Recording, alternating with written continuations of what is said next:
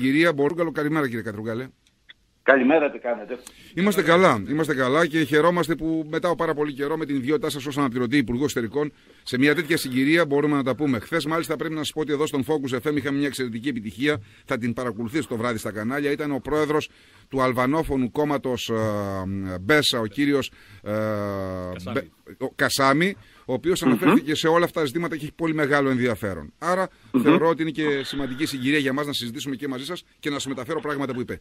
Ρωτώ, για τον ΣΥΡΙΖΑ δεν έχει κόστος και ενδεχομένως για τους ΑΝΕΛ ένα συμβιβασμός. Για τη χώρα θα έχει, τι λέτε; Ακούστε, γιατί πρέπει να έχουμε μια συμφωνία για όλα τα θέματα και τα προσωπικά μας, πολύ περισσότερο για τα εθνικά, το τέλμα δεν είναι θετικός παράγοντας. Δεν βοηθάει ε, επιδεινώνει την κατάσταση. Ιδιαίτερα όταν έχει διαμορφωθεί ένα αρνητικό status quo. Γιατί έχει διαμορφωθεί ένα αρνητικό status quo; Γιατί πάνω από 140 χώρες είτε έχουν αναγνωρίσει επίσημα τη μεγάλη πλειονότητα τη γειτονική χώρα με το συνταγματικό της όνομα, είτε εν πάση περιπτώσει χρησιμοποιούν αυτό το όνομα σε μεταξύ τους σχέσεις. Επομένως, αν δεν κάνουμε κάτι άμεσα, Μακεδονία θα τους λένε, σκέτο, χωρίς κάποιο, κανέναν άλλο προσδιορισμό. Τι επιδιώκουμε λοιπόν, να υπάρχει ένα όνομα που θα διακρίνει σαφώς την ιστορική ελληνική Μακεδονία από το όνομα του γειτονικού κράτους και από την άλλη μεριά θέλουμε προφανώς να φύγει κάποιος, οποιοδήποτε στοιχείο αλυτρωτισμού από το τραπέζι, θέλουμε να εξασφαλίσουμε σταθερότητα στην περιοχή των Βαλκανίων, γιατί είναι προς το συμφέρον μας να έχουμε ένα πρωταγωνιστικό ρόλο στην περιοχή αυτή. Να είμαστε πυλώνας πολιτικής και οικονομικής σταθερότητας. Ε, να δεχθούμε ότι είναι ε, αυτά τα οποία μόλις περιγράφεται είναι η πρόταση, το πλαίσιο που θέλει να βάλει η κυβέρνηση γιατί διαφορετικά θα είναι ενδεχομένως χειρότερα τα πράγματα κατά εκείνη. Η κοινωνία όμως είναι απέναντι αγαπητέ μου κύριε Κατρούγκαλε. Τι θα τους πείτε Γιατί το λέτε αυτό; Γιατί το λέτε ότι η κοινωνία είναι απέναντι; Γιατί με βάση αυτά τα, τα ευρήματα των δημοσκοπήσεων, την τεράστια απήχηση του συλλαλητηρίου στη Θεσσαλονίκη, αυτό που φαίνεται προδιαγράφεται για την Αθήνα. Να σας πω πώς ερμηνεύω εγώ. Πρώτα-πρώτα η δημοσκοπήση είδατε. Η μία λέει 80-20 αυτή που είδα χθες λέει 60-40. Mm-hmm. Επίσης, αν το ερώτημα δεν είχε τεθεί με αυτόν τον τρόπο, εάν θέλετε να υπάρχει το όνομα Μακεδονία, προφανώς αισθηκτοδός και χωρίς πλήρη γνώση των πραγματικών δεδομένων, η αυθόρμητη αντίδραση είναι αυτή. Αν όμως το ερώτημα ήταν προτιμάτε να μείνει απλώς Μακεδονία ή όπως είπα προηγουμένως εγώ, όπως περιέγραψα τη λύση, με ένα όνομα που θα ξεχωρίζει σαφώς την ιστορικότητα και την ελληνικότητα της Μακεδονίας, είμαι βέβαιος ότι οι απαντήσεις θα ήταν αρνητικές. Αν η απάντηση ε, είναι ότι θέλουμε να παραμείνει φύρο, μέχρι ότου αυτοί, ε, επειδή αυτοί έχουν το, το μεγάλο πρόβλημα, το μεγάλο ζόρι, ε, κάνουν πίσω; Μα θυμίζω ότι υπάρχει μια ενδιάμεση συμφωνία, βάσει της οποίας όταν αρνηθήκαμε, σωστά αρνηθήκαμε, να μπουν ε, στο ΝΑΤΟ, στο Βουκουρέστι, πήγαν στο δικαστήριο της Χάγης και καταδίκασαν τη χώρα μας. Δεν αναφέρεται στη δημόσια συζήτηση και απορώ το 2011 η Ελλάδα καταδικάστηκε στη Χάγη. Επομένως, όταν λέμε, και είναι πάγιο χαρακτηριστικό της πολιτικής μας, ότι το διεθνές δίκαιο είναι η βάση της εξωτερικής μας πολιτικής σε όλα τα μέτωπα και κυρίως το μέτωπο που έχει σημασία, το στρατηγικό μέτωπο, με την Τουρκία και την Κύπρο. Μπορούμε να εμφανιζόμαστε ότι παραβιάζουμε το διεθνές δίκαιο. Έχουμε υποχρέωση η βάση της ενδιάμεσης συμφωνίας να συζητήσουμε για να βρούμε μόνιμο όνομα δεν έχουμε αναλάβει υποχρέωση να αφήσουμε την κατάσταση να σέρνεται. Επομένως, πρέπει να λειτουργήσουμε με βάση τεχνικά μας συμφέροντα, αλλά και το διεθνές δίκαιο. Ε, στη χώρα μας, αυτό το οποίο περιγράφεται, συμφωνήθηκε από τις πολιτικές δυνάμεις; Α, φυσικά. Το 2007, επανηγυρικά, με μόνη διαφωνία το Λάος και που πραγματικά στους μόνους που αναγνωρίζω συνέπεια σε αυτό το ζήτημα πέρα από το Λάος όσο υπάρχει, είναι στους βουλευτές ε, της, ε, του Λάος που πέρασαν στη Νέα Δημοκρατία. Αυτό που με ανησυχεί όμως είναι ότι βλέπω μια γενικότερη ακροδεξιά μετατόπιση της Νέας Δημοκρατίας. Διότι αυτά που λέει ο κύριος Γεωργιάδης, τα ακούω τώρα να τα λέει και ο κύριος Κικίλιας, να τα λέει και ο κύριος Βούτσης και το ακόμη χειρότερο, αυτός ο οποίος καθορίζει την πολιτική γραμμή ε, του κόμματος της Νέας Δημοκρατίας, να μην παίρνει αποστάσεις από αυτά. Να έχει ένα ρόλο πόντιου πιλάτου, όπως θέλει ας πάει, όπως θέλει ας μην πάει. Λες και δεν πρέπει να ακόμα να έχει ξεκάθαρη πολιτική φυσιογνωμία, δεν σας λέω για πολιτικές αρχές. Να ξέρουμε αν είναι κεντροδεξιό ή λαός. Ναι. Αν η Νέα Δημοκρατία γίνει λαός, Εντάξει, μιλάμε για ένα άλλο πράγμα, για μια άλλη συζήτηση. Αν η κοινωνία έχει γίνει λαός; Η κοινωνία δεν έχει γίνει λαός με βεβαιότητα. Αυτές οι εσείς, ακούστε λίγο, δεν ξέρω προσωπικά ναι. εσείς, αλλά κάποια μια σειρά στελεχών του ΣΥΡΙΖΑ χαρακτήρισε ως ακροδεξιό όλο αυτό το οποίο συμβαίνει στους δρόμου και στου. Όχι, όχι, όχι, όχι, τον κόσμο, τους πρωταγωνιστές. Εν τούτης πάλι ο κόσμος στην Αθήνα, πάλι ο κόσμος σε ένα κάλεσμα, σε ένα κάλεσμα ακροδεξιών θα πάει. Μήπως ο κόσμος θέλει κάτι παραπάνω από αυτό που νομίζετε ή νομίζω και εγώ; Όχι, όχι. Ε, εγώ, μόνο ότι ξέρετε με τη μέθοδος της Μονταζιέρας έχει γραφτεί ότι έχω πει ακραίους ε, τους, αυτούς που συμμετέχουν στα αλητήρια, το αντίθετο. Πατριώτες σου χαρακτηρίσει μόνο. Αυτό της Μονταζιέρας έγινε γιατί διάβαζα ένα απόσπασμα του Μητσοτάκη, του, του πατέρα του, αείμνηστου Μητσοτάκη, ο οποίος χαρακτήριζε ακραία τη θέση ότι δεν μπορεί να υπάρχει η λέξη Μακεδονία στο όνομα και μάλιστα έλεγε ότι και ο Κωνσταντίνος Καραμαλής συμφωνούσε με αυτό. Α, σε αυτό που λέτε, εγώ διακρίνω σαφώς τον άνθρωπο που πηγαίνει στο συλλαλητήριο, που είναι πατριώτης, που δεν έχει μόνο πατριωτικές ευαισθησίες, αλλά μια περίοδο οκταετίας των μνημονίων που αισθάνεται ταπεινωμένη την εθνική του αξιοπρέπεια, θέλει να διαμαρτυρηθεί. Αυτή είναι η στάση που την καταλαβαίνω 1000%. Όταν όμως ακούω έναν ομιλητή από αυτούς που ήταν ε, και θα τον αναγνωρίσετε, δεν θέλω να τον ονομάσω, δεν έχω ούτε προλόγο να τον αναδείξω, ούτε προσωπική αντιδιακία μαζί του. Όταν ακούω ένα ομιλητή λοιπόν στο, στο συλλογητήριο της Θεσσαλονίκης να λέει ότι όταν διαλυθεί το κράτος των Σκοπίων, όταν, ε, όχι αν, ναι, ναι. δεν θα είναι μόνο η Αλβανία και η Βουλγαρία που θα πάρουν κομμάτι, πρέπει και εμείς να εξασφαλίσουμε να πάρουμε το κομμάτι που μας αναλογεί. Ξέρετε κάτι αγαπητέ μου κύριε Κατρούγκαλε, εγώ να δεχτώ, αυτό είναι, αυτό είναι απαράδεκτο μόνο που υπόθηκε, αλλά ξέρετε κάτι. είχα, είχα κάνει την εξανάρτηση επειδή εμείς το καλύψαμε δημοσιογραφικά εδώ στη Θεσσαλονίκη. Ναι. Στο συλλαλητήριο. Πολλοί κόσμος δεν πήγε για να ακούσει αυτούς. Και καλό είναι η πολιτική, ε, πρέπει, πρέπει η πολιτική να διαβάσετε τους λόγους που τον έκαναν τον κόσμο να πάει στο συλλαλητήριο. Μα, μα, το είπα, το είπα. Και, α, ακούστε, είπα ακριβώς αυτό που λέτε. Είπα ότι αυτό που σας περιέγραψα παραπέρα όχι απλώς είναι ακροδεξιό, είναι ολέθριο για τα εθνικά συμφέροντα. Γιατί υπάρχει αλυτρωτισμός από την άλλη πλευρά, ο οποίος τρέφεται από τέτοιες δηλώσεις. Όταν ακούει ο μέσος άνθρωπος ε, στα Σκόπια ότι κάποιος από αυτούς που μίλαγαν όταν κάτω ήταν πάρα πολλές χιλιάδες κόσμου ε, θέλει να πάρει ένα κομμάτι από την πατρίδα του, πώς θα αντιδράσει; Δεν είναι αυτό όχι απλώς ακροδεξιό, αντεθνικό. Γιατί σας θυμίζω, ο Σολομός λέει ότι θα πρέπει να μάθουμε να θεωρούμε εθνικό την άλλη θέση. Και άμα... όλα τα άλλα. Κύριε Κατρούγαλε, καλοπροαιρέτως, εγώ δέχομαι όλη την περιγραφή. Τότε γιατί είσαστε συγκυβέρνηση με τον Καμένο, ο οποίος δεν τα δέχεται αυτά; Α, όχι, μισό λεπτό. Ποτέ δεν είπε ο Καμένος ότι θα πάρουμε κομμάτια από τα Σκόπια. Όχι, δεν μιλώ γι' αυτό. Μιλώ για την ονομασία τώρα. Εντάξει, αυτό με τα Σκόπια είναι μια, μια γραφικότητα ενός τύπου εδώ. Αφήστε το. Μισό λεπτάκι ήταν οργανωτής και από ό,τι αντιλαμβάνομαι έχει ρόλο και στο επόμενο. Και έχει και τρία κανάλια.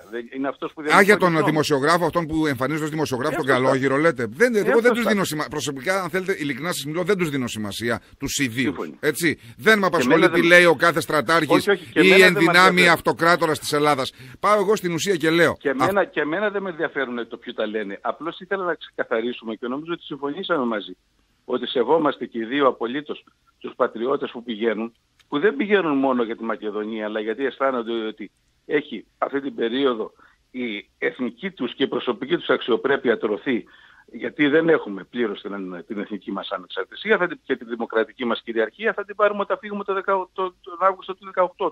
Τον ναι. Αύγουστο της χρονιάς από τα μνημόνια. Πείτε μου λίγο, ναι, ναι, εγώ θέλω να έρθω σε αυτό στο διατάφτη γιατί απασχόλησε πάρα πολύ την κοινή γνώμη. Όλο αυτό περιγράφεται ο Πάνος Καμένος δεν συμφωνεί. Πώς το διαχειρίζεστε από εκείνου.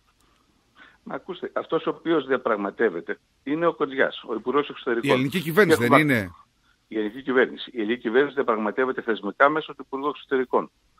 Και ο ε, Υπουργός Ειδικής Άμυνας και Αρχηγός των ΑΝΕΛ έχει πει δύο πράγματα. Πρώτον, ότι εμπιστεύεται για τη διαπραγμάτευση των Υπουργών Εξωτερικών. και είπε και ένα δεύτερο, ότι ο ίδιος Σαμαράς δεν γίνεται. Δεν θα ρίξει δηλαδή την κυβέρνηση παρά τη διαφωνία που θα έχει και αν θα αυτή η διαφωνία θα δούμε, θα μείνει μέχρι το τέλος. Γιατί μπορεί η συμφωνία που θα φέρουμε, σας λέω εγώ, να είναι τόσο προφανώς εθνικό συμφέρον που να υπερψηφιστεί όχι μόνο από τους Ανέλα αλλά και από το σύνολο της Βουλής. Αν, Επομένως... δεν, ήσασταν, αν δεν ήσασταν ο Γιώργος Κατρούγκαλος, ο αναπληρωτής υπουργός των εξωτερικών, είστε ναι. πανεπιστημιακός και βλέπετε όλο αυτό το διάστημα την διαδρομή της δηλώσης του Καμένου. Θα γελούσατε, ναι ή όχι; Εντάξει, τώρα τι περιμένετε να σας απαντήσω. Να αλλάξω, το ρήμα, να αλλάξω το ρήμα. Θα νιώθατε ότι κάποιος σας κοροϊδεύει, ναι ή όχι; Όχι βέβαια, γιατί ακούστε, είναι προφανές ότι η συμμαχία μεταξύ μας και τον ΑΝΕΛ έχει χαρακτηριστικά που βασίζονται στο, πιο, στο να αντιμετωπίσουμε τα δύο κύρια προβλήματα που η χώρα ε, έχει μπροστά της. Τη διαπλοκή και την ε, αντίθεση σε αυτό τον νεοφιλελευθερισμό τον έμφυτο στα μνημόνια. Από εκεί μετά ξέραμε ότι είχαμε ουσιοδέστατες ιδεολογικές διαφωνίες, γιατί εμείς είμαστε ένα κόμμα της αριστεράς και η ΑΝΕΛ είναι ένα κόμμα συντηρητικό, ένα κεντροδεξιό κόμμα. Αυτό επιβεβαιώθηκε στην πορεία Με απόψεις οι ε, οποίες δεν παρεκκλίνουν από τις ακροδεξιές που χαρακτήρισαν κάποιοι συντροφοί σας για το θέμα όχι, αυτό; Όχι, γιατί είπαμε προηγουμένως και συμφωνήσατε ότι αυτοί που πηγαίνουν στα συλλαγητήρια γιατί ανησυχούν για τη Μακεδονία δεν είναι ακροδεξιοί, οι πατριώτες είναι. Εγώ αντίστοιχα χαρακτηρίζω και τον ε, ε, κύριο Καμένο Κοτσανέλ. Πατριώτες είναι, δεν είναι ακροδεξιοί. Γιατί δεν άκουσα ποτέ από τον κύριο Καμένο να μου λέει αυτό το απίθανο πράγμα να πάμε να πάρουμε το κομματάκι μας όταν, όχι αν, όταν διαλυθεί το γειτονικό κράτος. Και έχει επιβεβαιώσει ο κύριος Καμένος το εξής ότι κρατάει την ιδεολογική του ταυτότητα και διαφορά, καταψηφίζει ας πούμε το νόμο για την ηθαγένεια των παιδιών των μεταναστών ή το σύμφωνο συμβίωσης, αλλά ακριβώς επειδή είναι μεσαλής και αξιοπρεπής σύμμαχος, δεν εκβιάζει. Δεν λέει ότι θα πάρετε πίσω την ηθαγένεια των μεταναστών, αλλιώς θα ρίξω την κυβέρνηση. Και το ίδιο λέει και τώρα. Και νομίζω ότι σε μια συμμαχική κυβέρνηση αυτή είναι η στάση. Να διατηρούμε την πολιτική μας ταυτότητα, αλλά προφανώς όταν δεν έχουμε τη δυνατότητα να, να πλειοψηφίσουμε στην κυβέρνηση, ακολουθούμε αυτό που λέει η κυβέρνηση. Ε, εσείς θα πάτε στο συλλαλητήριο; Ε, όχι, δεν θα πάω. Ακριβώς γιατί ακούγοντας αυτά τα οποία είμαι βέβαιος ότι φοβάμαι θα ακουστούν από την εμπειρία της Θεσσαλονίκης, ξέρω θα έφρυτα ακούγοντάς τα. Γιατί, δεν πάτε με το, θα, πάτε με το πατριωτικό, θα, πάτε, θα πάτε με το πατριωτικό σκέλος μέρος αυτού του συλλαλητηρίου όπως νωρίτερα συμφωνήσαμε. Δεν καταλάβατε. Το ότι να αναγνωρίζω τα κίνητρα, τα αγνά των ανθρώπων που πηγαίνουν, δεν σημαίνει ότι θεωρώ θετική την ύπαρξη των συλλαλητήριων. Δεν πιστεύω ότι βοηθούν τα συλλαλητήρια έτσι όπως γίνονται και όπως θέλουν να αντιεκτρέψουν από, τις, από τον πραγματικό πατριωτισμό των ανθρώπων που θα πάνε αυτοί που το οργανώνουν. Εσείς ο ίδιος είπατε για τους οργανωτές. Για τους οργανωτές φυσικά τα είπα και τα είπα και από πριν δεν θέλω να έχω καμία σχέση μαζί τους. Αυτό είναι δεδομένο γιατί οι ναι. άνθρωποι παίζουν το δικό τους ε, προσωπικό, πολιτικό, δεν ξέρω τι παιχνίδι. Οκ, αλλά αυτό είναι άλλο θέμα. Προσκαλούν; Είναι σαν να λέτε ότι σε ένα σπίτι που σας προσκάλεσε ο οικοδεσπότης μπορείτε να πάτε ακόμα και αν τον οικοδεσπότη δεν τον υπολήπτεστε. Δεν γίνεται έτσι. Δεν, δεν, έτσι. δεν ξέρω αν ήταν αυτός ο οικοδεσπότης. Μπορεί να με κάλεσε σε ένα σπίτι ένας οικοδεσπότης, το, το σύστημα και να έχει έναν σεφ ο οποίος μαγειρεύει χάλια. Δεν θα φάω. Αλλά θα πάω. Σας λέω ότι το πλαίσιο του συλλαγητήριου τίθεται από αυτόν που το οργανώνει. Τώρα, α, πότε ήταν καλή η Εκκλησία την προηγούμενη φορά ή χθες που είπε ότι θα πάει στο συλλαλητήριο. Η Εκκλησία δεν πρέπει... Να ακούσετε ποια είναι η βασική διαφορά της Ορθόδοξης Εκκλησίας από την Καθολική κυρίως και από την Προτεσταντική; Δεν πρέπει να είναι κοσμική δύναμη. Η δική μας Εκκλησία πρέπει να ακολουθεί αυτά του Ευαγγελίου, τα του Κέσαρος, το Κέσαρι, τα του Θεού, το Θεό. Και αυτός ο, ο, Αρχιεπίσκοπος που έχουμε την τιμή να έχουμε, να έχουμε αυτή τη στιγμή προσπαθεί να διατηρήσει αυτό το ευαγγελικό ρήμα. Από εκεί και μετά εγώ πιστεύω ότι η Εκκλησία πρέπει να ακούγεται σαν κοινωνική δύναμη όπως όλες οι δυνάμεις της κοινωνίας.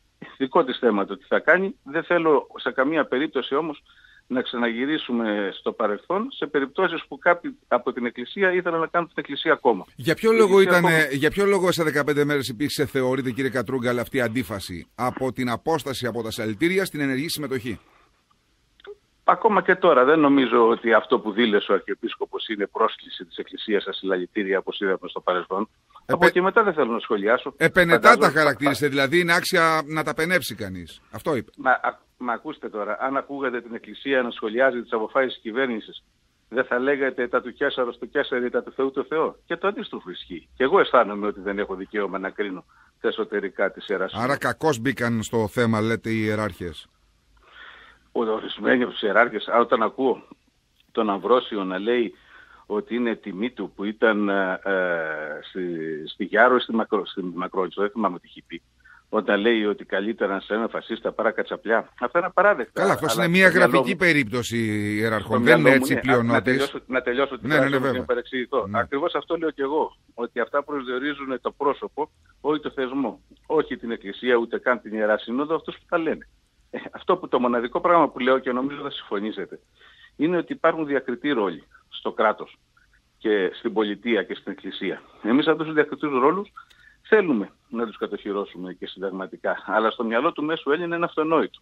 Δεν θέλει, νομίζω, το κράτος να έχει ρόλο για το ποιος θα είναι Μητροπολίτης, όπως έχει τώρα, και δεν θέλει, νομίζω, και την Εκκλησία να είναι κόμμα. Μάλιστα. Ο Κώστας ο Βαραγιάννης θέλει να ρωτήσει κάτι για να ολοκληρώσουμε σιγά σιγά. Ε, στην αρχή της κουβέντας εδώ σήμερα σας άκουσα τώρα, είπατε για το διεθνές δίκαιο. Το διεθνές ναι. δίκαιο, στην περίπτωση της περιοχής μας εδώ στη γειτονιά μας, πού ίσχυσε; Στην εισβολή της Τουρκίας, ας πούμε, στο Ιράκ, στη Συρία, στην Κύπρο; Όχι, όχι, όχι, όχι. Είμαι 1000% μαζί σας. Α, το γιατί είπατε στην αρχή παρα... ότι... Μισό λεπτό. Ναι, ναι, ναι. ναι. Είπα, είπα, είπατε εξής. Είπα ότι είμαστε μια χώρα η οποία υπερασπίζεται το διεθνές δίκαιο ως κανόνα της συμπεριφοράς των κρατών και της εξωτερικής πολιτικής, ακριβώς γιατί ήμασταν σε πολλές περιπτώσεις θύματα της παραβίασής του.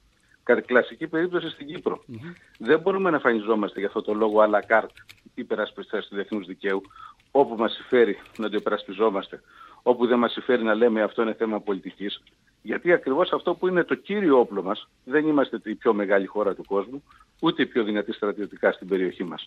Το όπλο μας δεν είναι λοιπόν ότι έχουμε εκατομμύρια στρατιώτες, αλλά ότι μπορούμε να βασιζόμαστε στο διεθνές δίκαιο που τα πολιτισμένα κράτη το θεωρούν βάση της συμπεριφοράς. Ε, και θα ήθελα εγώ τουλάχιστον να ολοκληρώσω με το εξής. Υπάρχει αίσθηση, τουλάχιστον από το ακροατήριο το καταλαβαίνω κύριε Κατρούγκαλ, ότι έχουμε ένα σύμπλεγμα ενοχής πλέον γιατί οι Σλάβοι ή οι Αλβανοί δεν ονομάζονται Μακεδόνες. Και αυτό νομίζω ότι είναι το, το θέμα το οποίο βγάζει και τον κόσμο στις ε, πλατείες χωρίς ε, βεβαίως να πηγαίνει. Μα όχι, μα όχι. Μα, να σας πω, να σας πω. Ιστορικά, ακόμα και πιο εθνικόφωνες Σλαβομακεδόνες δεν τους λέγανε αυτούς τους ανθρώπους. Δεν υπήρχε η λέξη Μακεδόνες στο Σλάβο.